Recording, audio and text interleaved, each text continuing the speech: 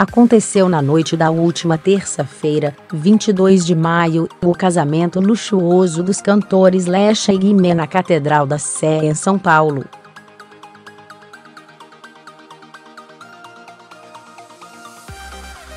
A cerimônia reuniu diversos famosos e causou muito burburinho em torno do local. Mães após fim de novela, Grazi Massafera muda o visual e comemora o portal FS5 conta que moradores de rua, de gente pequena a grande, se aglomeraram em volta da catedral e pediam diversas coisas para quem chegasse.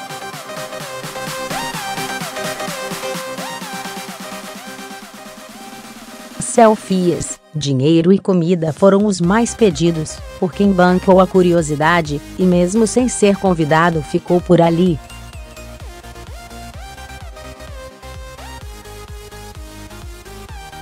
A noiva usou um vestido caríssimo e bem luxuoso feito P-L-O-S-T-L-I-S-T-A-I-S-R-A-L Valentim, todo de Swarovski.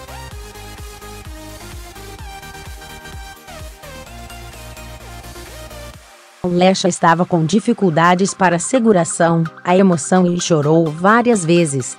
É a mãe da loira, D-A-R-L-I-N Ferratri, falou. É o casamento mais esperado do ano. Foi planejado nos mínimos detalhes com profissionais incríveis.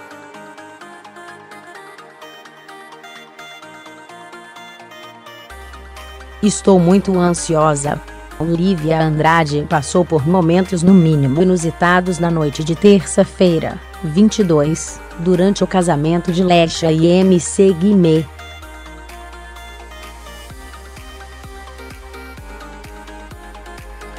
O casamento que aconteceu na Catedral da Sé contou com uma grande quantidade de curiosos e também de fãs, como no caso de Lívia Andrade, que comanda o Fofocalizando no SBT.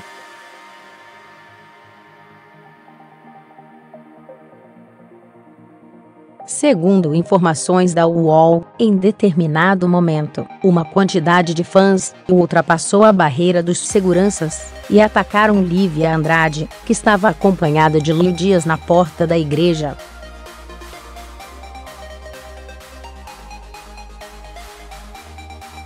No meio da confusão, a bolsa da artista quase foi furtada. Por sorte, Lívia Andrade foi salva por um cupido Everton de Souza, o Fofoquito, repórter do Fofocalizando.